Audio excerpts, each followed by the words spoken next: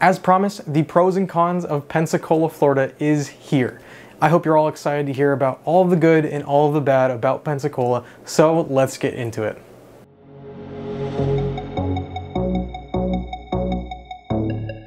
What's going on everyone? Garret O'Leary here with the O'Leary Brothers team here at Lead Realty. Thank you for clicking on this video. I surely do appreciate it. Now, like I said last week, I've kind of neglected talking about Pensacola in detail for pretty much the life of this channel, but that all ends because I'm finally doing a classic pros and cons video of living in Pensacola, Florida. But before I get started, if you are a Pensacola resident, please drop in the comments some of the things that you love about living here and maybe some of the things that you don't so much love about living here. Again, this channel is all about telling everyone that watches these videos, you know, what are the good things, what are the bad things about living on the Emerald Coast and living in, I guess technically in this video, Pensacola. So please drop those comments below. I love the discourse that we have. I love the discussions. And again, hearing from residents that live in those areas is always great because it adds that first person view of what it's actually like to live there. But without further ado, let's jump into some of the cons about living in Pensacola, Florida. Now, the first con that I'm going to talk about is a little bit of a gimmick. But if you're looking at it from the perspective of a new resident, and especially if they've come from other states, it's that the weather is kind of unpredictable. This kind of applies to the whole of Florida, so that's why I think it's kind of a gimmick. But again, Pensacola is no different. You're gonna have very much a bipolar feel to how the weather is on a daily basis. You could be up and at 'em in the morning and it'd be perfectly sunny, and then half an hour later it could be pouring down rain, and then again half an hour later it's 95 degrees a billion degrees when you add in the humidity. And it's just like, what is going on? What do I dress for? How do I deal with this? And that's kind of that unpredictability, uh, that I'm talking about. Again, for new residents, especially if you're coming from places like California, I mean, basically anywhere that's not the South, that kind of bothers you. That kind of like, you know, like, what do I do? Do I bring an umbrella? Do I wear a raincoat? Do I wear shorts and a tank top because it's so hot? How do I get rid of all this sweat? I mean, there's just so much unpredictability with it. My recommendation, you know, bring an umbrella, have a raincoat in your car, you know, have maybe a change of clothes if it does start pouring, if you're sweating too much. If you're in AC all day, you're gonna be fine, don't worry about it. But it is, you know, the con number one, and it's my biggest gripe when I first moved here was kind of that unpredictability when it came to the weather. I was never sure if I was gonna be too hot or too cold or too sweaty or, you know, anything like that. So was, I definitely understand where that first con and why that's here and why I wanted to include it is that for new residents, especially people that are maybe thinking of moving to Pensacola, you got to get used to the weather. It's going to be unpredictable, but with that being said, the 200 plus days of sunshine that Pensacola and the rest of the Emerald Coast get definitely makes up for the unpredictable weather. Now, con number two is actually the nightlife. Now, bear with me because it's not that I'm saying that there's no nightlife in Pensacola. Actually, Pensacola has a good option and a good number of options when it comes to entertainment, restaurants, bars, things like that. What I'm more referring to is that a lot of things close kind of early in the evening. So if you are looking to maybe go out and get something to eat later off in the evening, 9, 10 p.m., you might be limited on your options. Same thing if you're trying to look for like bars or, clubs or things like that. There's just a few options or, or nothing that's like, you know, constantly packed full of people that it's a lot of fun. Your options are limited because even though it is like a city, you're not gonna have as much of a choice in terms of a very popular bars, restaurants, clubs that stay open into the early morning as you would if you're living in a larger city or a more popular or densely populated area. So yeah, the entertainment, nightlife is, while it's there, it's almost less so in the evening if you understand what I'm saying. And again, for new residents that want to live in a city um, you might be not used to something like that. And that tends to be a big con that I get from a lot of people that have lived there or the people that live there are maybe around my age, you know, early 20s, late 20s, early 30s, things like that, where it's just like, we go to a lot of the same places all the time because those are the only places that stay open later. And that tends to be the biggest gripe. And that is a con that I wanted to include because again, if you are a younger person or just someone that likes to be out and about into the evening, you're gonna be limited on your options. And con number three on this list is a classic. I can't make one of these videos without mentioning it, and that is traffic. Now, obviously, the Emerald Coast, Destin, Fort Walton Beach, I mean, obviously, you have to include Pensacola in that one, is that they are tourist areas. So with that being said, during the summer months, or just basically, again, any of those 200 plus days of sunshine, there's gonna be a healthy amount of tourism that are gonna be in the area, which means the roads are going to be clogged up. So when it comes to those times, you better prepare, you better know what routes you're gonna take because odds are, if you're gonna go anywhere, you're gonna run into this traffic. There's really no way around it. Unfortunately, the, the back roads that a lot of people would take if they live in a more uh, densely populated or kind of a rural area are limited just because we're right up next to the coast. So you really only have a number of roads without going completely out of your way to get around it.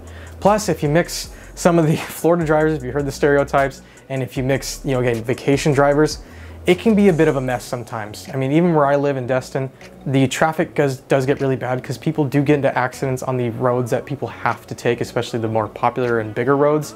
And that could just slow everything down. So you do have to prepare, whether it's timing wise or just accepting that you're probably gonna hit some traffic, especially during those warmer summer months.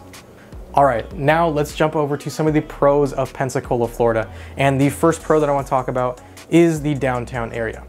Now, again, if you've watched any of my videos, you know that I'm from California. I've spent most of my life or large portions of my life exploring some of the biggest cities, you know, Los Angeles, the Bay Area, and exploring their downtown areas. And by far, I would say in my personal opinion, the downtown part of Pensacola is actually, I would say, one of my favorite places. I would say it beats out the likes of downtown Los Angeles by a mile. I mean, I absolutely love downtown Pensacola, and I think a lot of people love it too.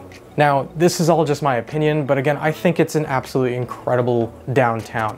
I absolutely love the historic look and feel of all the buildings. I love how concentrated all the bars and restaurants are in the downtown area, and it just makes it such an easy and awesome place to walk around in where you just feel like everything's within touching distance. You're never having to go too far to get to a cool bar, cool restaurant, or just a cool activity. Everything's right there. And for anybody that's been in downtown Pensacola, I feel like a lot of them can share that same sentimentality where it's, it's just an awesome place, very well designed, very well kept. It, it is a ton of fun, especially when they have different events going on, when there's holidays. It just makes it, I mean, chef's kiss. It, it's just that awesome. And I, I, I, don't really know how to put it into words on how much I enjoy being in downtown Pensacola.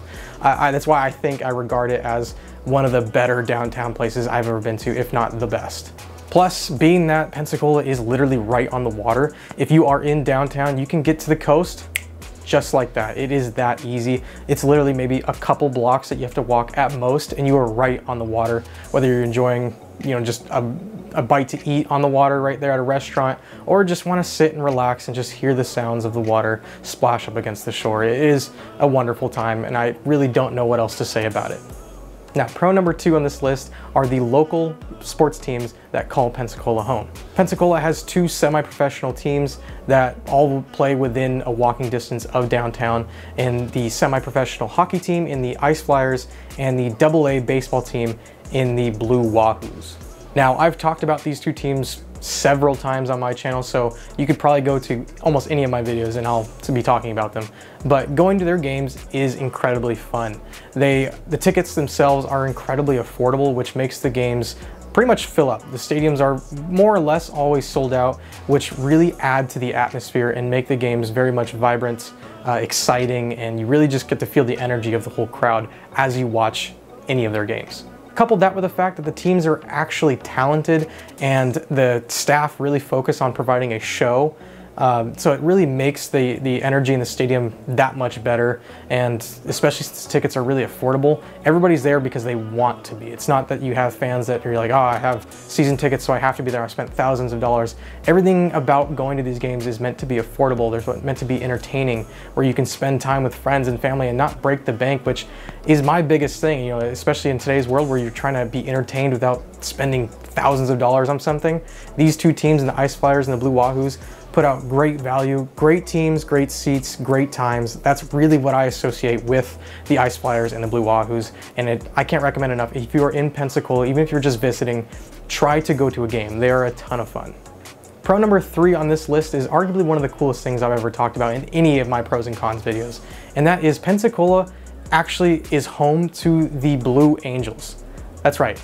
The Blue Angels call the Naval Air Station Pensacola home and they fly and practice there all the time, more or less year round. So if you are a resident of Pensacola, you get to witness some of the Navy's best pilots flying and doing all the crazy stunts and what did you call it? Acrobats? I don't even know what you'd call it. But regardless, some of the craziest things they do, they practice right in front of you. You get to see them pretty much throughout the year flying and doing these things, and it makes it one of the coolest things I've ever talked about. Now, if you're visiting soon or maybe thinking about moving, the Blue Angels actually have their schedules on when they practice and when they do all their air shows here in Pensacola online, so you can find which days work out for you, but I highly recommend checking them out. If you've never heard of the Blue Angels or have heard of them but never seen them fly in person, it is one of the coolest experiences because you almost think like there's humans doing this thing and it makes it such an awesome experience. I used to grow up going to air shows, so seeing them fly in person and being able to see them fly fairly often is arguably one of the coolest things I've really got to experience in my life. And I absolutely was shocked to find out that the Blue Angels actually called Pensacola home after I moved here. I didn't know that. And it was really like exciting to me. I was like, no friggin' way. I was like, I get to watch them fly. That's so sick. And that truly is a huge pull for a lot of people. I mean, talk about quality entertainment. You get to see, again, some of the best pilots in our country doing some of the coolest things in the world right outside your doorstep. You walk outside, you could be watching the Blue Angels fly, which is a huge, huge quality and you know, quality of life type thing that I think is just an awesome feature of Pensacola. But that wraps up this week's quick video, everybody. I hope you enjoyed it. I didn't want to make the video too long because I could be talking for hours about all the things about Pensacola, all the pros, all the cons, but I want to create some discourse in the comments. People bringing up the things they love, things they hate. So if you have anything, if you're a resident, used to live here, or have visited here several times, again, drop the things that you love or hate in the comments below. Share them with everybody. Maybe we'll create some good discussion about what's going on. But again, if you are looking or thinking about moving to the Emerald Coast or into Pensacola in general, go ahead and reach out to us. I will leave our contact information right here for you. Give us a call, send us a text, or shoot us an email, and we'd be happy to help you in any way we can. As always, my name is Garret with the O'Leary Brothers team, and I will see you in the next video. Peace out.